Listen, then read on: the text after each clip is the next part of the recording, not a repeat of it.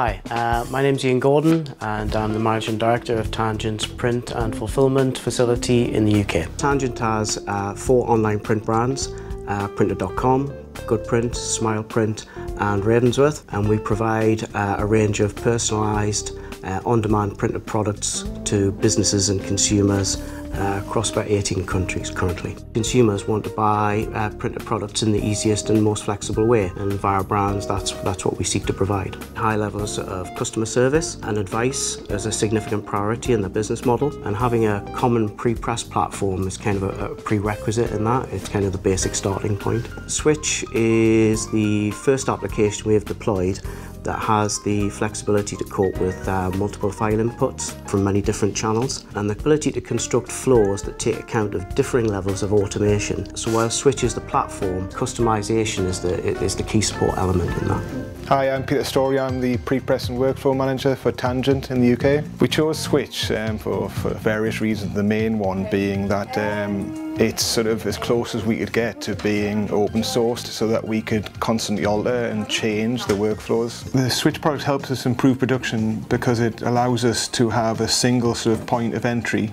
um, and visibility of the work going right through the system from start to finish, allowing us to um, make changes, edit the workflows. Automation is absolutely everything. If you can get it right, then you get phenomenal levels of scalability uh, and a manageable cost base. We've got to get that, that, that starting point correct as the business grows and, and volume increases.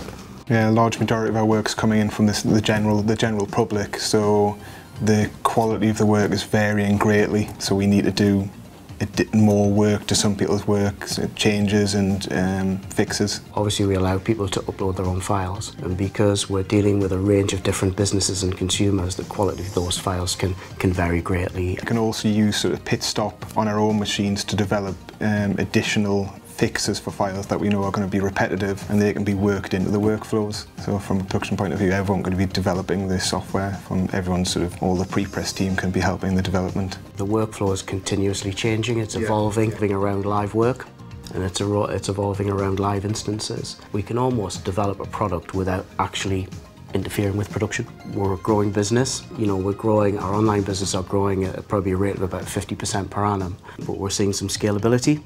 It would be difficult for me to, to look back and at this moment in time say, okay, if if we hadn't deployed Switch or deployed certain things in it, it would be difficult to quantify that, but I, I know it, has been of, of, significant benefit. I think in the future Enfocus Switch will be in, integral to our growth and its success is effectively based upon it not being overly prescriptive in its use. Also, we'll continue to broaden uh, our product offering so the more industry partners that Enfocus is involved with, the closer the relationship with, with Tangent uh, we'll get.